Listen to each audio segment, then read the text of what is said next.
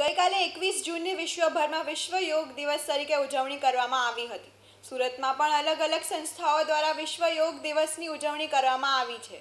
ત્યારે સુરતમાં યોગ ટીચર એસોસિએશન દ્વારા પોલીસ કમ્યુનિટી હોલમાં વિશ્વ યોગ દિવસની ઉજવણી થઈ, જેમાં સુરત પોલીસના ચારસો જવાનો ભાગ લઈ વિવિધ યોગ આસન કર્યા હતા અને યોગ દિવસને સફળ બનાવ્યો હતો.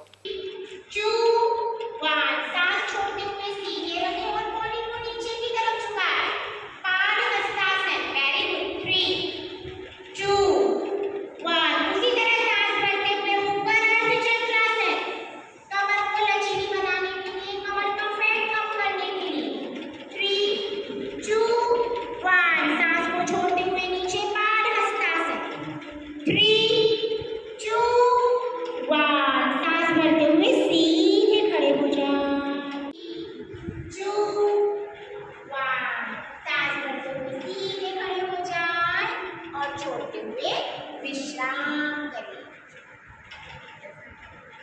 One. Slowly coming down.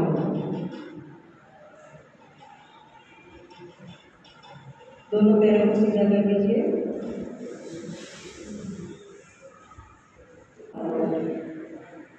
इस आसन से आपको डाइजेस्टिव सिस्टम के रिलेटेड कोई भी प्रॉब्लम हो, और बचाव हो या कोई गैस से रिलेटेड प्रॉब्लम हो तो काफ़ी हेल्पफुल रहती है।